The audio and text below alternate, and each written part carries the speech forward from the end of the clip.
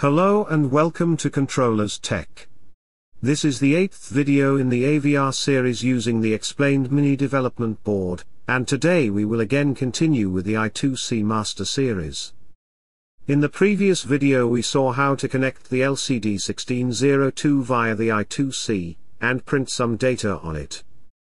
So far we have only been sending the data to the I2C slave, so today for a change, we will receive the data from the slave device. I am going to use the AT24C256 EEPROM as the slave device in today's tutorial. We will first store some data into the EEPROM memory, and then read the data from it. If everything goes well, we should get the same data from the EEPROM. Please note that this is not a tutorial on interfacing the EEPROM, I am just using it so that I can test the reading data. I will cover the full EEPROM interfacing in some other video. Although we still need to see the datasheet so that we can understand a little bit about the slave device. I am going to continue with the I2C master code we have been working on in previous videos, and I have removed the LCD related information from this code. Let's take a look at the datasheet. We have the clock and data lines as usual, and there are three address inputs, which can be used to modify the address of the device. This is the same as what we saw in the PCF8574 slave device.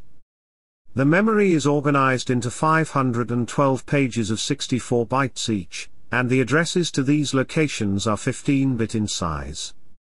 The maximum clock frequency is limited to 1000 kHz, so that is fine as we are using the same frequency.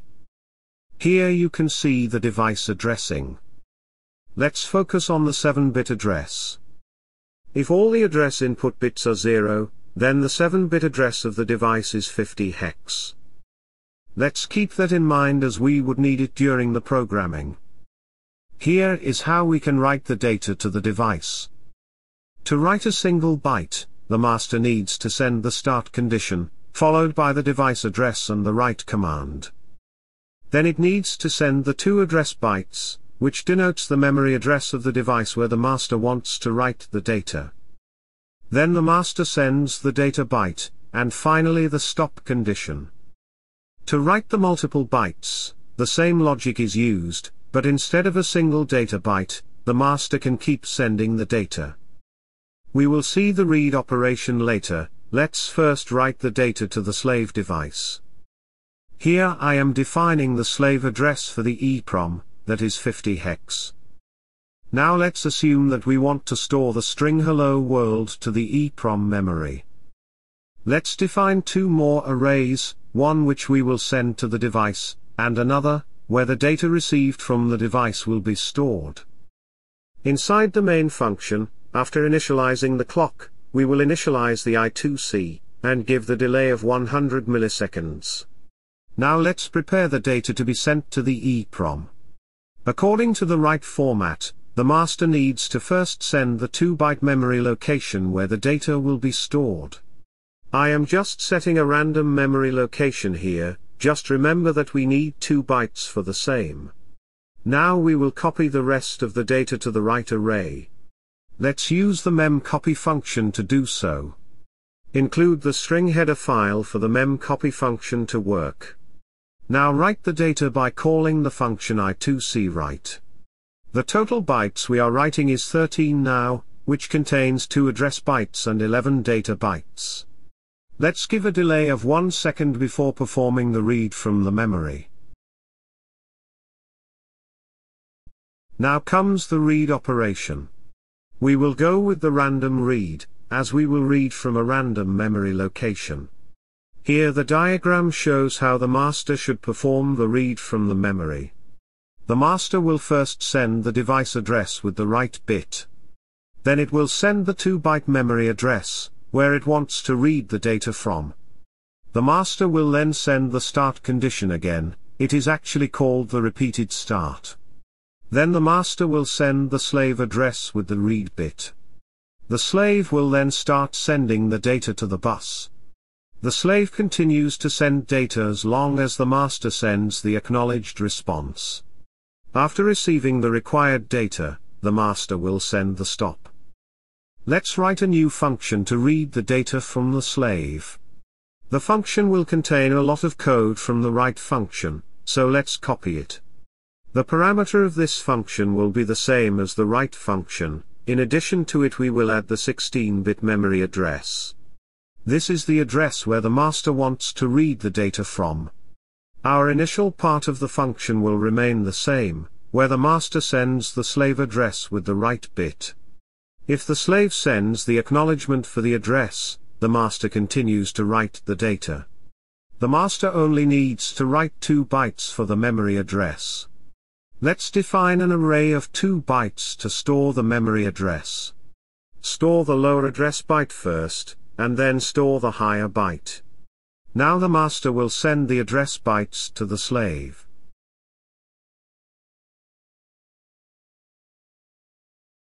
We don't need this part. When the address bytes have been transferred, the master will issue the repeated start condition. It can be sent by modifying the host control B register. We need to modify the command bit to send the repeated start condition. Let's send the repeated start condition after the master has sent the memory address bytes. If the slave does not acknowledge the address, the master will send the stop condition. The master will now send the device address again, but with the read bit. To send the address with a read bit, we will shift the address to the left by one place, and then add a 1 to the least significant position.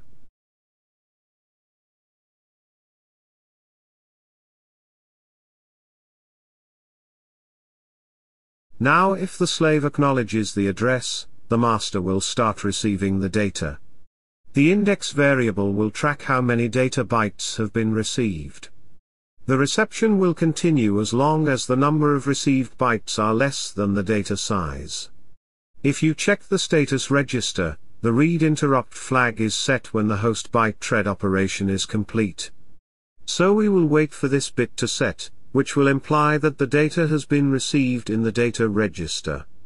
Once the bit is set, we will read the data from the data register, and store it into the buffer.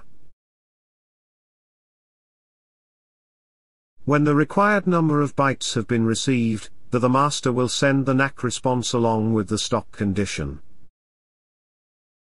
To send the NACK response, we just need to set the acknowledge action bit to 1, and when the stop condition is sent by the master, the NACK response is sent automatically.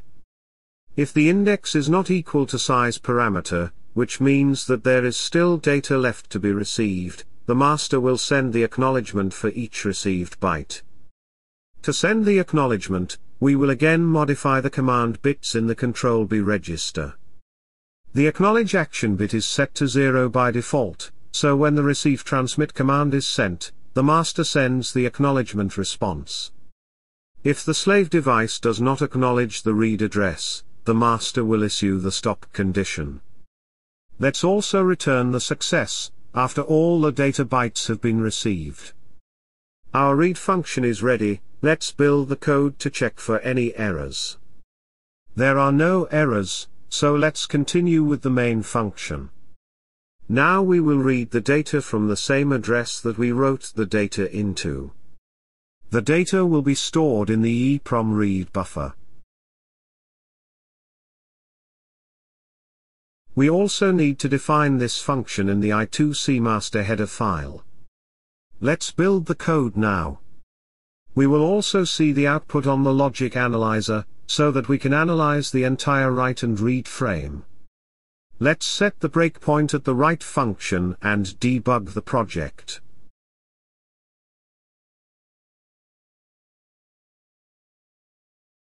We have hit the breakpoint. Add the EEPROM read buffer to the watch so that we can see the data stored in it. Let's step over the write function. I should better add the breakpoint at the read function.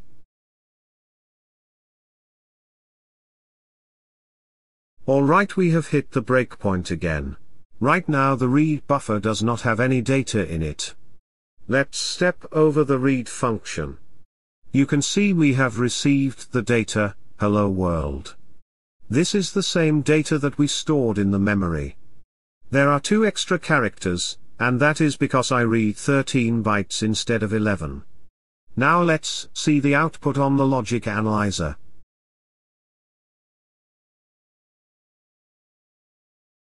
Here you can see the write and read sections are separated by one second. Let's check the write section first. The master sends the start condition, followed by the slave address 50 hex with the write bit. The slave acknowledges the address. The master then sends the memory address bytes, 30 and 0. After receiving the acknowledgement, the master sends the data, hello world. It receives the acknowledgement after every byte. In the end, the master sends the stop condition, the orange dot. Now let's check the read section. The master sends the start condition, followed by the slave address 50 hex with the write bit. The slave acknowledges the address. The master then sends the memory address bytes, 30 and 0. Then the master sends the start condition again, followed by the slave address 50 hex with the read bit. The slave acknowledges the address, and starts transmitting the data. The master sends the acknowledgement after receiving each data byte. After receiving the 13th byte, the master sends the NACK response, followed by the stop condition. Just to demonstrate that we are receiving the data from the slave memory, let's read the data from another memory location. Here I am going to read the data from location 20, although we stored the data in location 30. Let's debug it again. We have hit the breakpoint and the read buffer is empty right now. Here you can see the data received is not the same as what we stored. Actually the memory is empty at this location, and hence we are receiving the FF hex. Let's store something else to the location, and then read from it.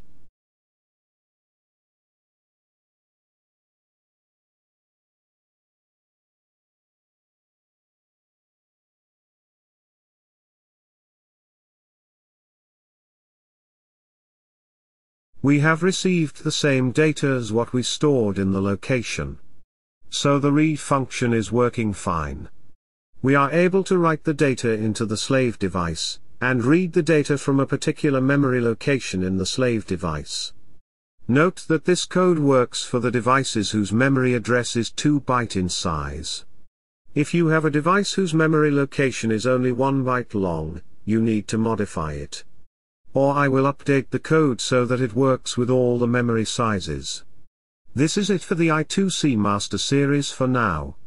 We covered the initialization, writing, and reading data from different slave devices. We will cover a few sensors based on the I2C protocol later in the series. In the next few tutorials on the AVR series, we will cover the SPI protocol. This is it for today. You can download the code from the link in the description. Leave comments in case of any doubt. Keep watching, and have a nice day ahead.